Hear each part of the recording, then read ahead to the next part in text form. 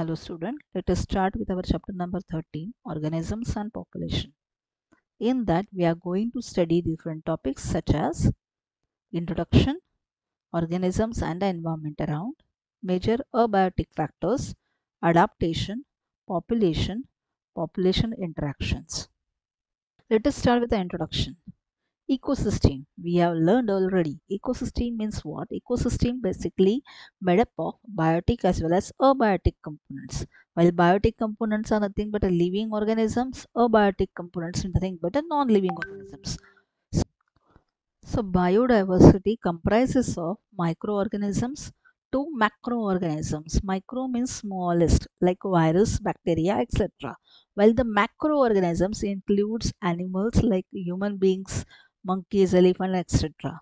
So the level of organize, organization involves macromolecules to cell, to tissues, organ, organ system, organisms, population, communities, ecosystem and biome. So micromolecules which later on converted into cells, cells with having a similar kind of functions grouped together to form tissue, tissue group together to form organ. Organ work together in uh, association type or you can say in a coordination type then called as organ system whole organ system works for the organisms and organisms lives in the population. Population is a part of communities. Communities leads to form ecosystem and ecosystem leads to form biome. That we have already did in previous lectures so ecology is a study of interaction among the organisms and between the organisms and their physiological environment, which was first used by the Reiter scientist but introduced by the Ernest Haeckel, a German scientist. So here we have seen this photograph where the molecule later on on the association with the different kinds of cells, tissues, uh, transmits from uh, different kinds of levels of cells, tissue, organ, organ system, organ system, uh, organisms, then uh, population, community, ecosystem and biosphere. So we have seen the ecological hierarchy. Let us start with our first topic, organisms and the environment. So at the level of in, uh, level of organisms, ecology helps to study animals and plant physiology, which help us to understand how the organisms adapt the environment and not only survive but also propagate. So, for example, seasons gives us variation. So, in the form of rain or snow, that ultimately gives a different biomes like uh, desert, grassland, tropical, etc. So, regional and local variation within the each biome is called as habitat. And on Earth, the life form exists from extreme and harsh condition like desert to the rainforest to the top of Himalayas. So here we have seen the graph of different kinds of area, the desert, different kinds of habitat, desert, grassland, temperate forest, tropical forest, coniferous forest. Then we have seen the habitat and Nike. Habitat it's an it's an area in the environment where the living thing can grow and survive like forest, ocean, deserts, arctic regions are the examples of habitat. While the Nike, which is a very important topic or which is a very important term, there is a part of habitat where a living thing makes its home. So what is the environment? There is the environment is nothing but everything that surrounds where something lives or grows. The air, plants, earth, water, everything. So here we have seen the differences between the habitat and Nike. As we know, habitat is a physical space while the Nike is an activity performed by the organisms. Habitat is not a species specific but the Nike is a specific specific. Habitat get influenced by the temperature, rainfall, abiotic component but the Nike it shows a flow of energy from one organism to the another organisms. So for example, a desert and ocean, there is a habitat ka example and Nike, it's a part of habitat. It does not contain any components. Then we have seen different types of Nike, spatial Nike, habitat Nike, trophic Nike, multidimensional Nike.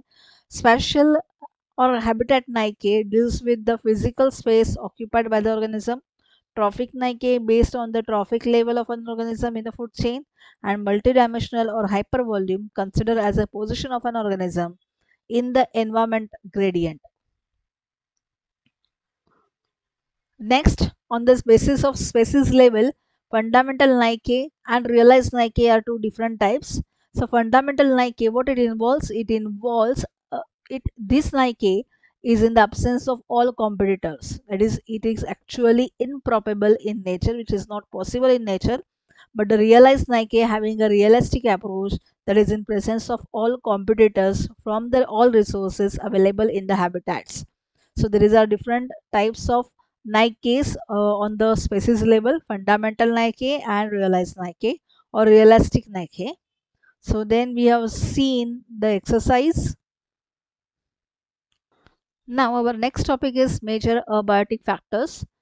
So abiotic factors, the non-living factors which plays an important role in maintaining the environment, the balance of the environment so it's a vital environmental factor, plays an important role in biodiversity and ranges from sub-zero level in a polar to 50 degrees centigrade in a tropical desert. So it decreases from the equator to the pole and from the plains to the mountains.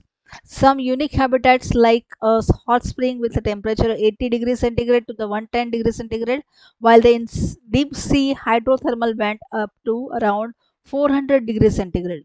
So physiology of such kind of organism is very different.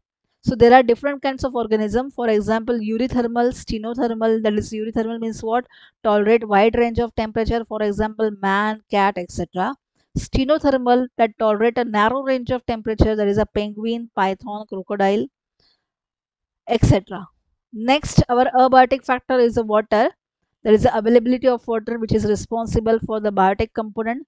So limited amount of water available, special adaptation for the survival of organism.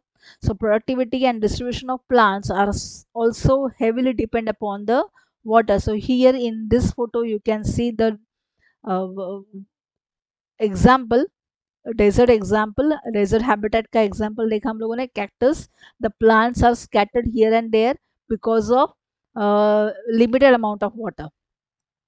For aquatic organism, the chemical composition and pH of water are important.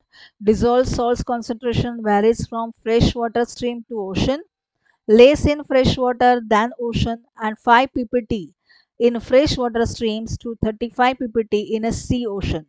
So for a wide range of salinities, organisms are called as euryhaline uh, and the narrow region is called as stenohaline and freshwater species cannot survive in a such condition. Next one is light. Light is uh, next abiotic factor. A solar energy only source of light. Plants only source of energy for the ecosystem. Plants use this energy for the photosynthesis and for the animals to seasonal variation in a light intensity and duration are the clues for the timing, their foraging, reproductive and migratory activities. So we have seen different kinds of solar, uh, different kinds of abiotic factors. We will in next lecture, we will move to the next topic.